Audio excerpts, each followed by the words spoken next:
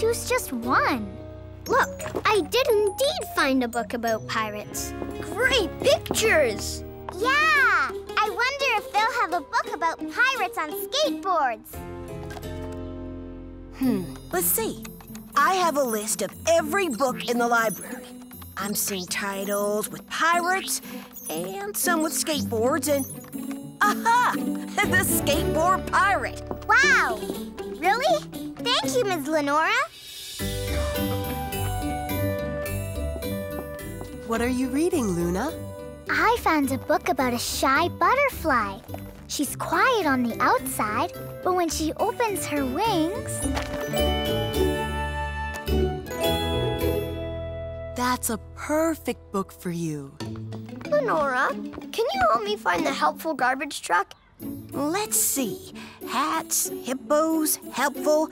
It should be in between. Oh, it looks like this one's been checked out. What? Someone else is reading it? Oh, no. Now we have nothing to read to the kids.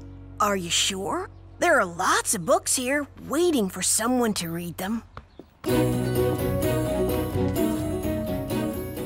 Well, maybe there's one book.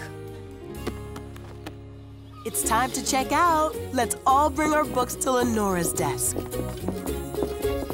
Llama Llama, did you find a book? No. Not a book.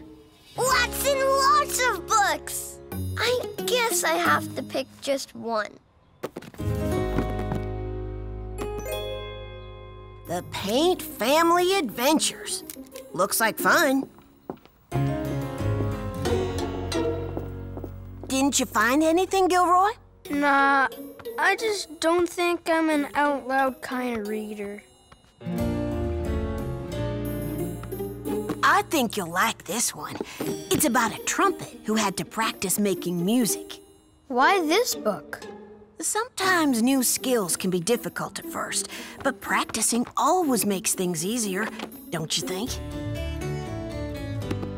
Thanks, Miss Lenora. Maybe I can practice reading this at home. Great idea, Gilroy.